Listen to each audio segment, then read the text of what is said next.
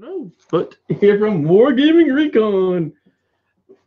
And of course, I gotta do a little magic because I forgot to do this. I am so sorry because this is not professional. Here we go. We pop that in. We do this. Aha! Here from Wargaming Recon, right in the proper thing. And that's all kinds of. I'm on a hill.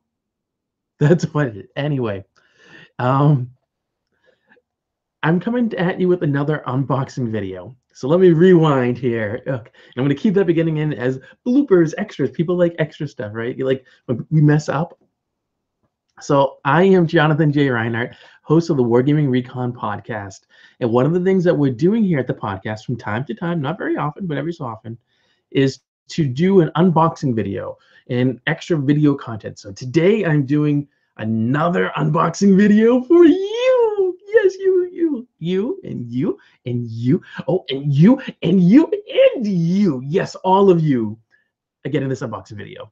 So I've done a few others on Cigar Box Battle Mats, and I'm recording with one of them right here. Da, da, da, and also did Wargamers Terrain as I move out of frame. Wargamers Terrain right here is something else. So today's a very special thing. It's this gigantic box, huge, right? It's very light, and as you can see, as I block out all the light that I have in my other light source, this is actually from my one of my co-hosts, Mike Paine. He sent it to me very generously because I was telling them when I did the cigar box battle mat right here, right, that one of the cool things you can do with the battle mats is you put stuff under them. So I'm using, because I have kids, I'm using some of her stuff to add hills and things. So if I show you, here is battle mat with hill, and it's this. And I was like, Mike, that is something I can do temporarily, but it's not great because it, it doesn't look so great. So he made me some polystyrene hills. I believe they're polystyrene. And he sent them to me. So I'm going to open up the box. It's huge. And I can tell you, he sent this from, as you see the back of a box, and I mean, very, very interesting. It's two pounds and change, almost three pounds. And it's a variety of sizes of hills. So let me get my handy dandy opening tool and we're going to open it. So as we flip it around so I can get at things better. I know from talking with Mike that he said one of the hills broke shortly after he made it. Now, these hills, including the broken one, it doesn't really matter because these hills are for going under the cigar box battle mat. They are not being intended for me to use them on top.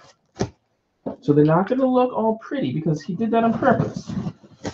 I specifically said, hey, Mike, I need hills, and what am I going to do? Um, I do intend to review hills on the show in the near future. So if you have anyone in mind for a company or anything that you think would be good for a review, I will gladly consider them. And you can get in touch with me for that. So first, we get this, and you can see, look at them. All these different sizes and shapes. So they're really cool. Let's move the box out of the way because it's huge and there's a lot here. And I know it's an unboxing video, but you really don't need to see all that, that big box that whole time, right? So let's just show some of the hills. So he did make them out of polystyrene. You see the blue, and I asked for him if it wasn't too much trouble for him to do to kind of do an angular slope. So you see, this is a nice big one. It's a cool shape. So if I put it underneath, as I move some boxes out of the way, you see we got a hill here. And of course, I don't have any minis handy, but my phone is pretty slippery. So if I put my phone on, it doesn't go. And you think, oh, case, it's grippy, but it's not. This is very slippery. I put it on a my couch and it slides off. So there's plenty of room for models to go on. It's a steep, a steep enough. Can I talk? It's a steep enough slope so that it provides some height, but then also it's shallow enough so that models can go on it.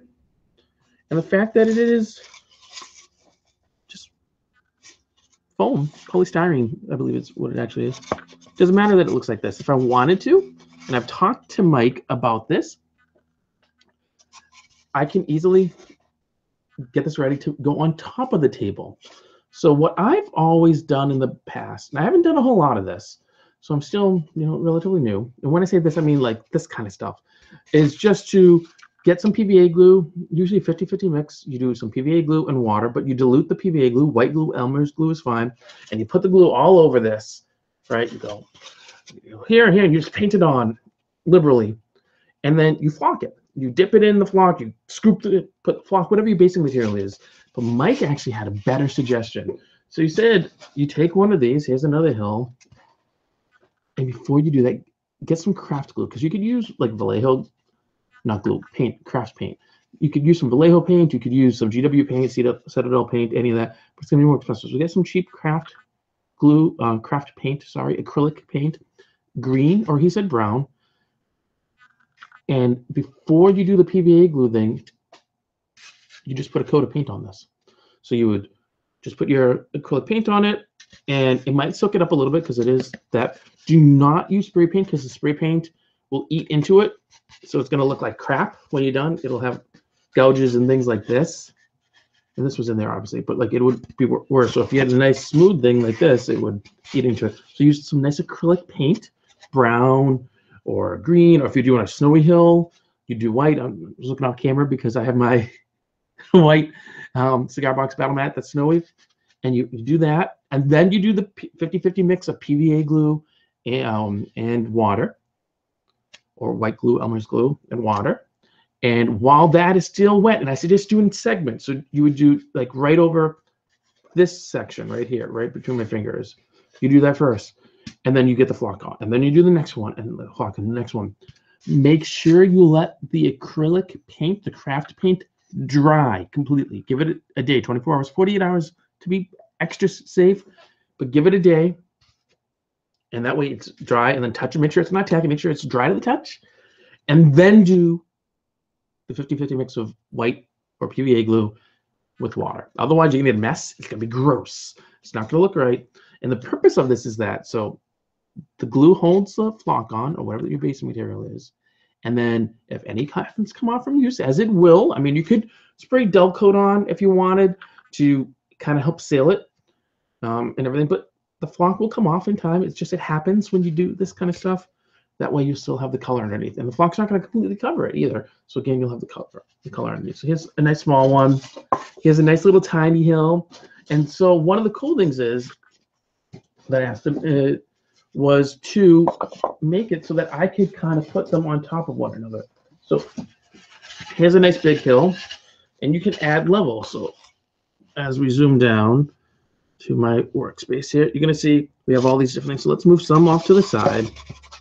Before I forget, let's close the hobby knife so I don't damage anything. So we get this, and we put it underneath and you smooth it out. And I got a hill. Let's say I want to add a little more height to it. So you can create a taller hill, a nice level. Oh, look. And you can do this. And you just smooth things out on your battle mat. So you see it's more natural looking. And you could even do something like this. So See how I'm here? We can even add or something like that. And then you get this realistic looking shape. And you do that in a few spaces. They don't all have to be so tall either. If you just need a little extra give, because you just want it to show a slight little bit of elevation, you put a tiny one in, put it down, and here's just a little extra something. And depending on your scale, obviously, you're going to end up with it being a mountain, a for being just a slight little whatever with the 54 millimeter armies and plastic stuff I have. These would be best basically nothing, but you build them up, and there you go. So that's the unboxing of Mike Paine's Hills. Just toss these back here. Tons of hills in here, tons. Really nice big ones and plateaus, and this thing is huge. It's great. And if I needed to, I could cut them down in size using that hobby knife you saw. So here, I just put it in. You get a nice big plateau. It's gorgeous. You can put some terrain on this. It's big enough for that. And it just, it would look really good. And then you got your mat and you got it in the soft. You're like, it's so soft. it's so soft. And underneath, bam, polystyrene bathroom sheets. It's cheap enough to do. I, in theory, could do this myself, but I'm just not handy with it. So you get one of those tools and you cut in, or a, a nice hobby knife. You go. It, it'll actually dull your knife pretty quickly, but it's something you could do, and you're done. So thank you for watching this unboxing here from me at Wargaming Recon. I hope you'll take the time to listen to the podcast at wargamingrecon.com. We'll have more unboxings and videos coming to you in the near future. And until then, visit our website, wargamingrecon.com. And also right down here, wait, here, here, yeah, see, name, my name, and the website. And you go right there, and you'll have see. I was looking, I was like, where is it? I'm looking on the screen to see, and right there, and you'll find it down here. And you go there, and you get the podcast. And one other cool thing, if you go there, is one of the episodes of the show, way, way, way back, actually tells you how to make this table. So you see, I got the cigar box battle mat on it. And beforehand, I was using this felt. And I have many shades of felt, but it is just roofing tiles, um, plywood, and underneath is just a regular folding table that you could buy anywhere for cheap. So that's on the website. It's an easy and cheap way to do this. And I'll tell you, my wife actually enjoys having this. It's set up year round, but she enjoys having it because I'm recording this in December. We're getting near Christmas and the holidays and everything, uh, Hanukkah and so forth. She uses it to wrap presents on. So, of course, when she wraps presents on it, I, I told her, give me a heads up because I'm going to take the cigar box battle mat off because I don't want it to get yucky.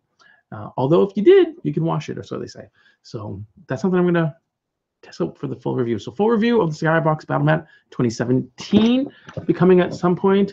Full review of all the stuff from the Wargamers terrain that I had that I had uh, already did an unboxing for in 2017, and then Mike's he doesn't do these for you know just anyone. He does them for me because he's a buddy and he cares and he's a lovely guy.